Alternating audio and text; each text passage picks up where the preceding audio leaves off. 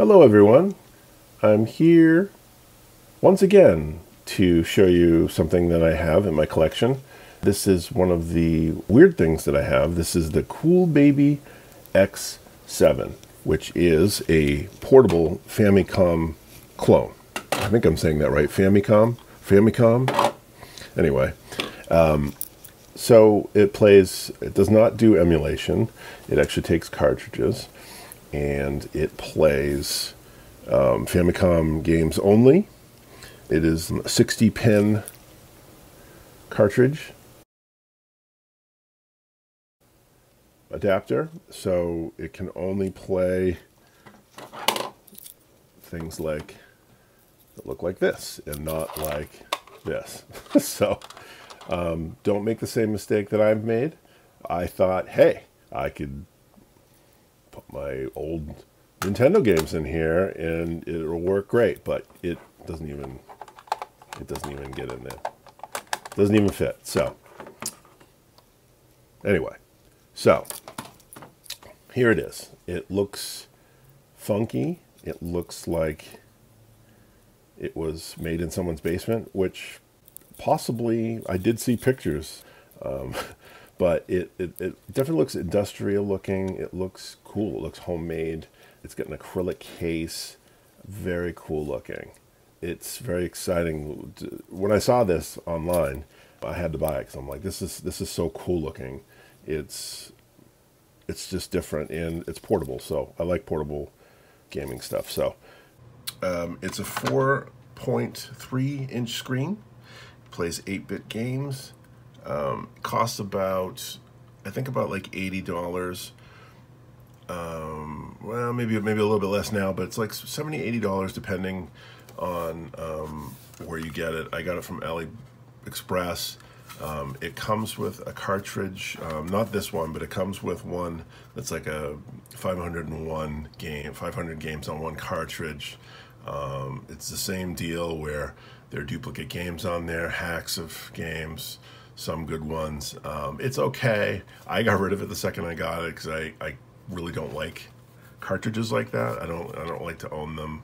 I, I got rid of it immediately and ended up buying. Just that way I knew like I'd get to test it and you know that sort of thing. So um, it's pretty it's pretty interesting this thing. It has um, the controls, the buttons feel good. Um, the base of it has changed over the years. Um, if you look at an older model, there's all kinds of switches and buttons at the bottom, but this is like the newer model. Um, and this has the on-off switch, no big deal. It has um, audio out, AV out, so you can basically connect it to um, TV. I hear it doesn't work very well. I haven't tried it. I, I'm not really into that. If it had HDMI, maybe, but I hear it doesn't work very well, so I'm not even going to bother. I don't care. But I hear it doesn't work very well. Um, also, it has a USB. This is weird. So this USB is literally for if you want to use this thing as a battery. That's all it's for. So if you you just happen to have this thing with you and your phone's dying, you can charge your phone off of it, which um, I think is very interesting. Um, and then it has um, the recharging, the typical um, micro USB for charging. Um, it's really cool when it's charging. There's like um, some little lights that light up and you can see the level of uh, how, how much it's charged. If it's one light, then it's pretty low, um, that sort of thing. I think if I even turn it on, it'll even show you. Um, it's kind of super bright right now, but it's showing uh, three lights. Wow, it's super bright. But it's showing, how can I possibly, Oh, it's super bright. But anyway, it's three lights. Um, you'll have to take my word for it. There are four lights! Um, it's three three LEDs, and after you turn it off, it'll even just show the, the lights for a little while after, just to remind you of the level, which is which is interesting. One other thing that I, I totally forgot about it's um, is the uh, controller port on the bottom. This thing is really weird. Um, I mean, you can put a controller in, that's fine, or you can use the splitter that it comes with if you want to play with more people. It looks so bizarre, but they included it for free, so um, that's kind of cool. But man, does it look? It looks uh, it looks rough, but I'm sure it works. I'm sure four people want to play off of this thing at the same time. Um, I suppose connected to a screen, if it worked, um, it's possible. I think at that point, you should probably just get a regular standard Famicom and call it a day. This thing, this whole thing is very um, interesting. Um, I did some reading on this. Um, some dude took this apart and found some interesting things. So there's batteries in here that are wired parallel, which is interesting to me. I, I do know a little bit about, elect about electronics. Um, I know that's a weird thing to do for batteries. I have no idea why you do that, but it still works. I'm guessing if one of the I'm guessing if one of the batteries dies, this thing will still because they're in there. You can't change the batteries in this thing unless you take it all apart and start soldering. But there, I'm guessing if one of the batteries dies, it'll still go. So even if one dies and on its way to America.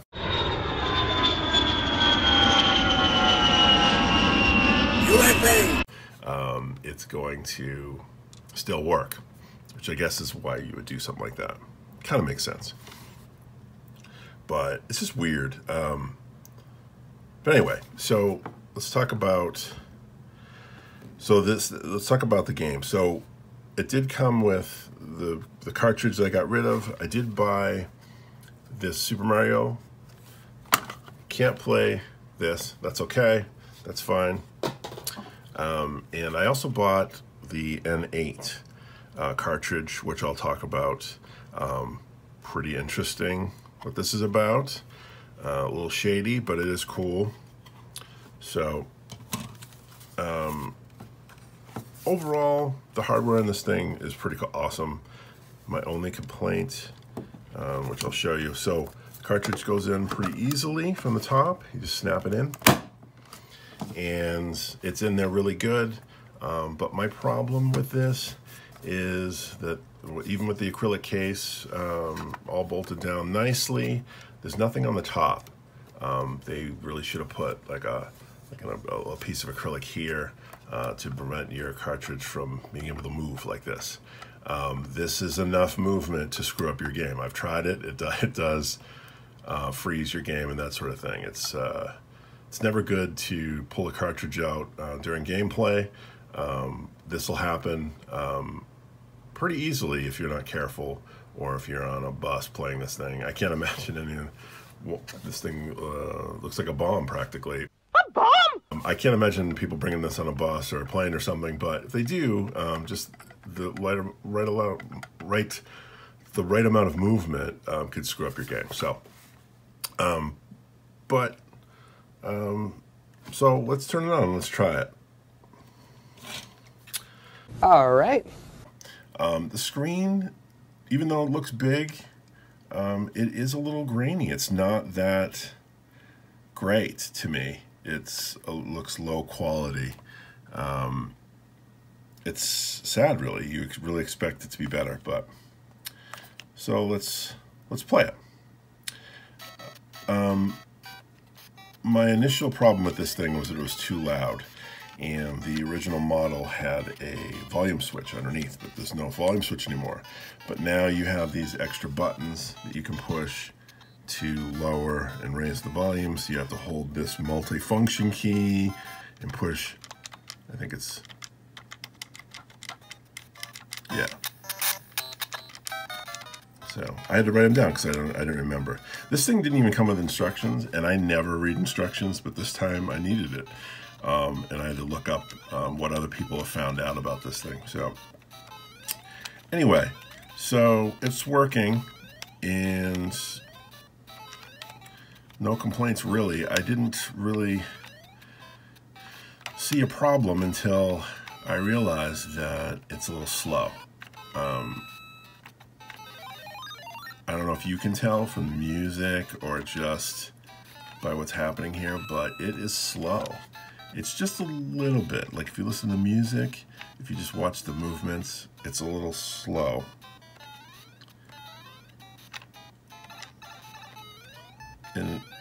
I've played this game so many times, I can just tell that it's not happening.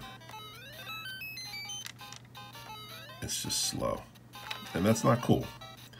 It's a it's a deal breaker for me. Um, not being able to change the volume is a deal breaker, but now that I figured it out, um, I like a little bit more. But this slowness, there's nothing you can do about. There's no adjustment for this. All games are slow. It's not just Mario Brothers. It's not. It's just.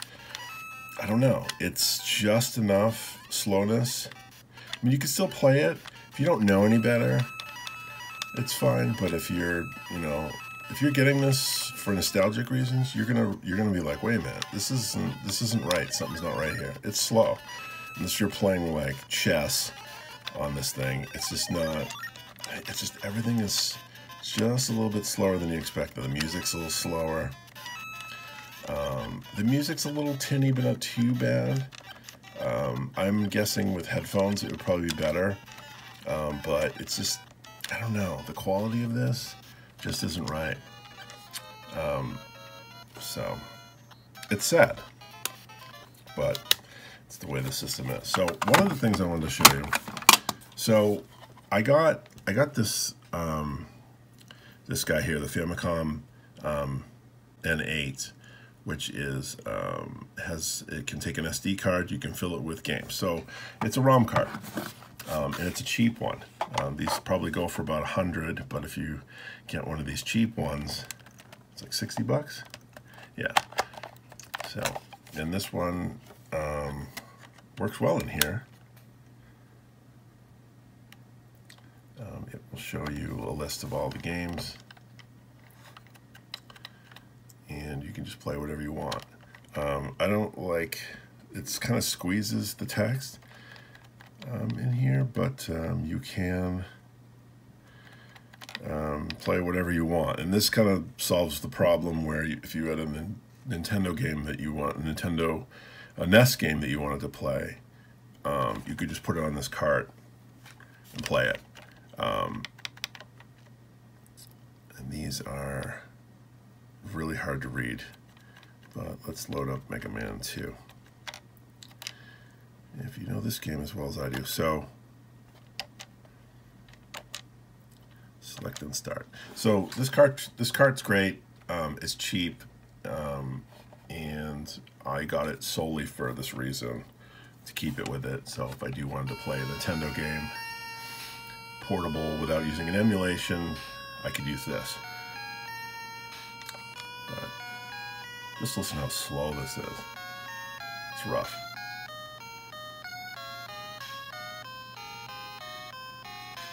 Oh man.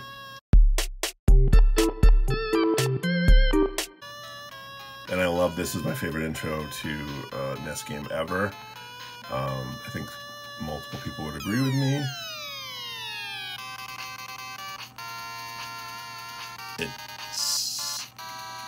It works, but man, it is slow. I don't know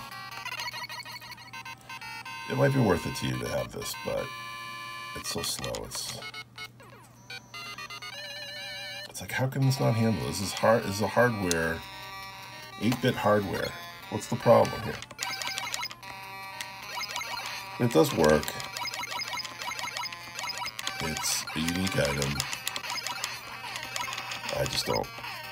It's not a prize uh, possession in my inventory. Uh, if you're interested in the Famicom N8 ROM cartridge. A link to purchase it will be below. If you would like more information on it, if you'd like me to do a video on it, please tell me in the comments below. I would, I would love to do a review on it, just the cartridge alone. That'd be great. So, should you get the Cool Baby X7? Hell no. Don't do it. Don't do it, you'll regret it. I regret it. I'm sure everyone that has this thing regrets it. It's a neat little thing, but it's not good enough. It doesn't play like it should. I'm tempted since I have the ROM cart. I'm tempted to just get a regular Famicom and just use that. It's just not. It's just not what it should be. Whoever made this should be ashamed. They really should make it the right speed. It's just not. It's something. It's a nice invention, but it's not what it needs to be. And because of that, I just, I can't, it's just not good. So uh, don't do it. Stay away from it. Take it from me. And that's it. If you if you have any comments, if you have one of these and you want to complain, please do here. That would be great.